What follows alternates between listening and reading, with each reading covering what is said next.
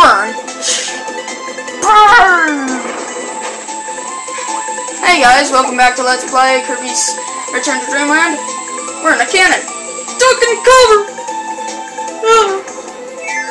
Head up in the air, find yourself a cog.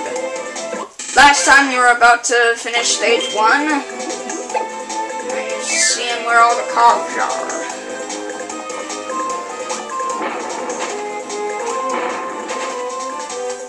Uh, there's the uh, needle ability in there. I'm actually going to wait. I'm going to show off fire. Feel the heat of hot flame techniques, light fuses, climb walls, fire, fireball climb, and if you're on fire, it's just fire inferno time. You know, no one likes a rhymer. just kidding. One fire breath, fire breath, target, and the control stick, fire, target fire. Fire breath, hold the, um, uh, back one. It'll get your fire down, but if, um, that actually works because I'm gonna show you in a minute. Dash, one burn, burn! One during burn, burning flame. Oh, I see. My. One midair spinning fire breath. Alright, here's the uh, Fire Inferno. Yeah, feel like a monster. I feel like a monster.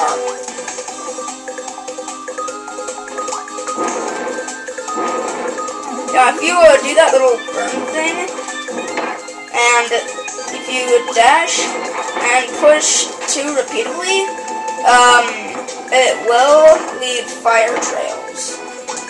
This. See, I just burnt that Wallaby and I didn't even touch him.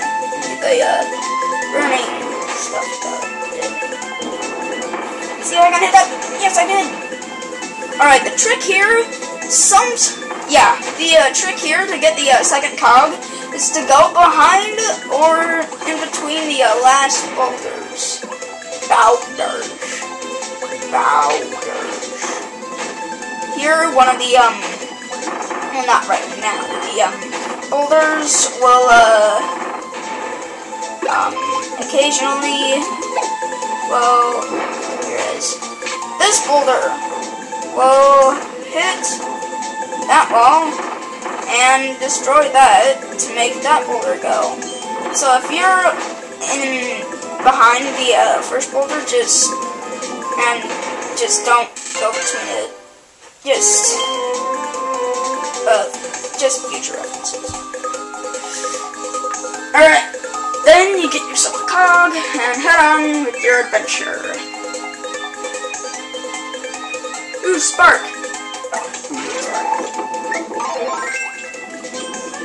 Watch out for the boulders. Cannot kill them no matter what. Somebody tested it and they and nothing happened. They just tried to destroy it with this, but no, no, it doesn't work. Alright, the last cog in here actually has to do with a mini boss. Invincible Candy, I believe. I think the last cog in here has to do with a mini Invincible Candy can run through anything. Yeah, I think so. It has to be mini boss. Maybe? I'm not sure. Too much stuff to talk about. I'm not sure what I'm supposed to do. Alright, here's the nifty thing about Parasol. Wait. Parasol. Block falling objects, fill your parasol with wind, and go for a stroll through the sky. That becomes... The best comes last. That's right. Circus throw! Circus throw. Awesome. Up, down, next to foe. Circus throw.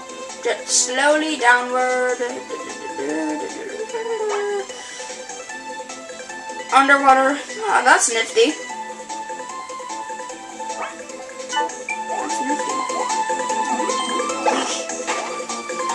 No parasol for you, dude. Gee, God.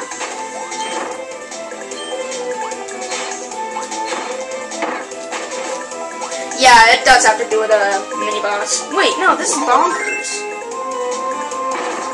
Yeah, it does have to do with a mini boss, but I was thinking the wrong mini boss. It's bonkers, the classic mini boss. I love bonkers. It's, he's just really cool. Well, first of all, you a hammer, and a lot of new things are up then. It does what you just saw.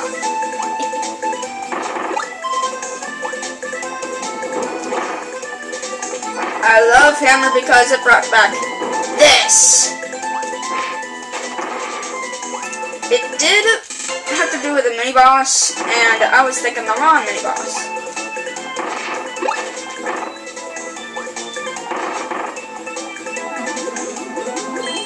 There's a, a secrety secret uh, star up there. And with that, gold game! Oh, I forgot to mention, Kirby's wearing a sushi hat, or sushi band. There we go.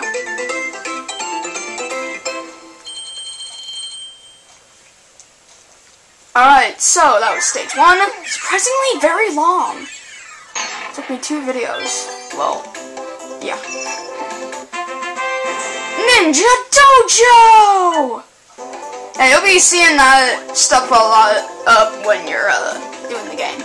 Alright, next time we will be heading on to stage two.